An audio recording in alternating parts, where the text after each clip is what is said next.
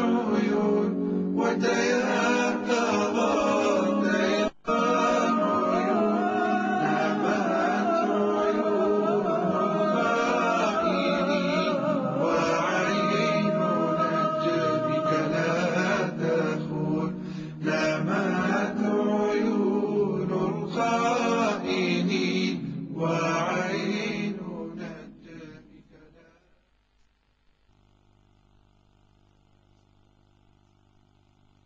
محمد عليه وعلى آله أفضل الصلاة وتم التسليم.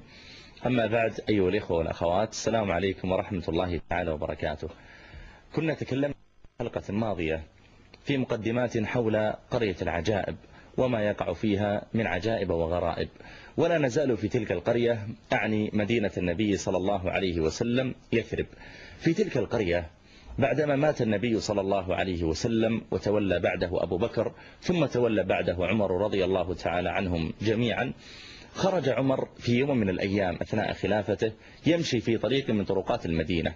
مر في أثناء هذا الطريق بدكان. كان الذي يعمل في هذا الدكان رجلا مجوسيا اسمه أبو لؤلؤة المجوسي. دخل عمر إليه ثم قال له أنت ما تصنع؟ قال أنا حداد ونجار. قال له عمر فما صنعتك؟ ما هي الصنعة التي تصنعها؟ قال أنا أصنع الرحاء والرحاء أيها الإخوة والأخوات جمع رحاء والرحاء هما حجران يوضع أحدهما فوق الآخر ويكونان مصفحان. يوضع أحدهما فوق الآخر ويوضع بينهما قمح أو شعير ثم يحرك باليد يكون فيه عصا تقبضه يحرك الحجر الأعلى باليد حتى يطحن هذا الحب الذي بينهما. فقال له عمر أنت تصنع الرحاء؟ قال نعم. قال له عمر إني قد سمعت أنك تقول لو أشاء لصنعت رحى تدور بالريح. لو أشاء لصنعت رحى تدور بالهواء. فقال ذلك المجوسي يا عمر لأصنعن لك شيئا يسمع به أهل المشرق والمغرب. التفت عمر إلى الذين معه وقال لقد توعدني العلج يعني الأعجمي. ثم خرج عمر من بين يديه. مضى ذلك الأعجمي وصنع خنجرا له حدان مقبضه من وسطه وله حدان من الجهتين. ثم جعل يلبد عليه بالسم شهرا كاملا حتى إذا طعن به إذا ما مات المطعون بقوة الطعن يموت بانتشار السم. ثم أقبل واختبأ لعمر بن الخطاب في ظلمة الليل في المسجد. دخل عمر عند صلاة الفجر بدأ يوقظ الناس النائمين ينبه القائمين وينادي في الناس الصلاة الصلاة حتى إذا أقيمت الصلاة تقدم عمر في المحراب ليصلي بالناس. كانت المساجد أيها الإخوة والأخوات في السابق ليست مثل مساجدنا اليوم. فيها أضواء كثيرة وفيها شيء من الكهرباء. لا إنما كان المسجد فيه سراج أو سراجان. دخل عمر كبر في المحراب الله أكبر ثم بدأ يصلي. الحمد لله رب العالمين الرحمن الرحيم مالك يوم الدين. كاد ذاك المجوسي أن يخرج عليه لكنه أراد أن يؤخر الخروج إليه حتى يقوم عمر إلى الركعة الثانية فيكون أكثر الناس قد قدم إلى الصلاة واصطفوا في الصفوف. فلما أتم عمر الركعة الأولى قام رضي الله عنه إلى الركعة الثانية وكبر الله أكبر وبدأ يقرأ بالناس. مالك يوم الدين إياك نعبد وإياك نستعين. في لمحة عين خرج عليه ذلك المجوسي وطعنه ثلاث طعنات. وقعت الأولى في صدره والثانية في جنبه والثالثة تحت سرته وجر الخنجر. فلما جر الخنجر فتح ما تحت السرة حتى خرجت بعض أمعائه من قوة الطعن وصاح عمر بأعلى صوته ووقع على الأرض صريعا. أما ذلك المجوسي فإنه لما قتل عمر انطلق يشق الصفوف ليهرب ويطعن الناس يمنة ويسرة حتى طعن ثلاثة عشر صحابيا مات منهم سبعة في الحال. ثم وقف في آخر المسجد شاهرا سكينة ما يقترب منه أحد إلا طعنه حتى اقترب منه واحد من المسلمين فلما اقترب منه هذا المسلم رفع هذا المجوسي يده ليطعن هذا المسلم فتأخر هذا المسلم عنه وكان هذا المسلم يلمس يلبس برنسا يعني رداء كهذا الرداء فأقبل ذلك. ذلك المسلم وخلع رداءه وألقاه على وجه أبي لؤلؤ المجوسي أول ما ألقي الرداء على وجهه يحتاج إلى وقت يسير حتى يفكه عن وجهه فعلم أنهم قدروا عليه. ممكن يضربون بسيف يطعنون بخنجر يدفعون على الأرض يضربون على رأسه بعصا. فلما علم أنهم قدروا عليه طعن نفسه ومات. قال عبد الله بن عمر مات المجوسي أقبلنا على أبي لنحمله. قال فإذا جراحه تنزف بالدم. قال فأقبلت أضع أصابعي على جرح أبي لأمسك الدم.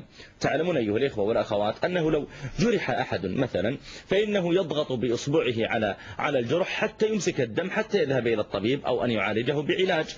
يقول هذا يقول عبد الله بن عمر أقبلت ليمسك الدم أضع أصابعي على جرح أبي الذي تحت سرته ليمسك الدم فكانت يدي تدخل في بطنه. وذلك من كبر الجرح. قال فخلعت عمامتي وربطت بها على بطنه. قال ثم حملناه وعمر لا يدري عن شيء أبدا. مغمى عليه تماما. قال حتى حملناه رضي الله عنه مضينا به إلى فراشه وضعناه على الفراش أخذنا نكلمه يا أمير المؤمنين يا عمر بن الخطاب يا عمر بن الخطاب وعمر لا يدري عن شيء أبدا ممزق البطن. قال حتى إذا كادت أن تطلع الشمس أفاق. فالتفت يمينا ثم التفت يسارا ثم كان أول سؤال سأله أن قال ماذا قال؟ تخيلوا يا أخواني الآن إنسان مثلا مطعون ما أفاق من من إغمائه نظر فإذا العمائم مربوطة عليه بيئة بالدماء. وإذا الآلام تأكل جسده. يلتفت يمين إذا الرجال يبكون. يلتفت يسار فإذا النساء وراء الستر يبكين. ينظر إلى نفسه فإذا الدماء تسيل من كل جهة منه. فلما رأى ذلك رضي الله عنه ما سأل وقال من قتلني ولا قال ما الذي حصل ولا قال من طعنني ولا قال ما هذه الدماء ولا, ولا سأل عن سبب بكائهم. لا إنما سأل عن أهم شيء عنده في الحياة. أول سؤال سأله قال أصلى الناس؟ صليتم؟ أهم شيء صليتم؟ أصلى الناس؟ قالوا نعم يا أمير المؤمنين قال الحمد لله. لا حظ في الإسلام لمن ترك الصلاة اللي ما يصلي كافر.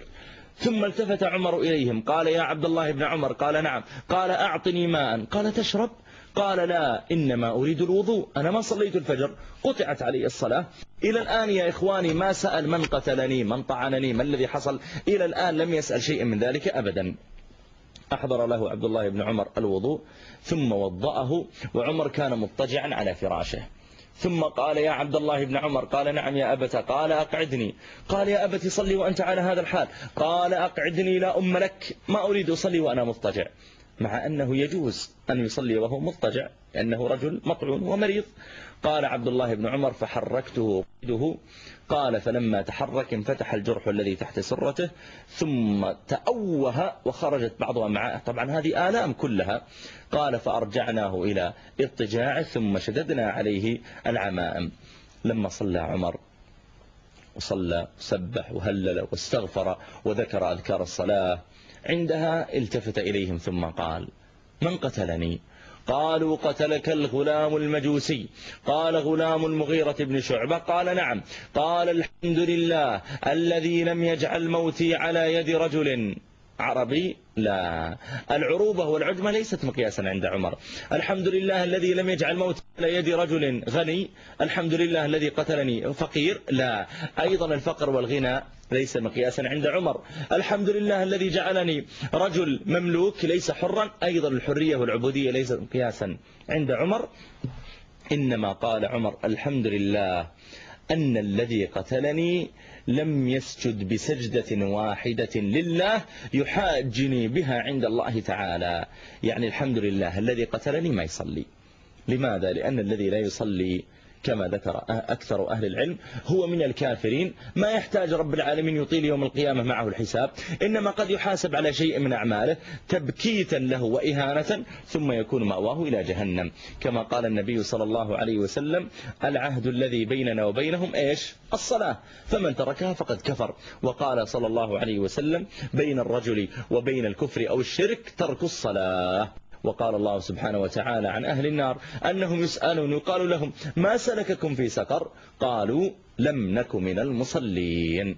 ولا يكفي فقط أيها الإخوة والأخوات إقامة الصلاة بل لا بد أيضا من إقامة أركانها من إقامتها وصلاتها في وقتها كما أن الحج لا يجوز في غير وقته. كذلك الصلاة لا تجوز في غير وقتها وكذلك الصوم لا ينبغي أن يصوم في غير وقته إلا لعذر إلى غير ذلك. ولعلنا إن شاء الله تعالى فيما يأتي من حلقات نكمل ما تبقى معنا من الكلام عن الصلاة وغيرها في قرية العجائب.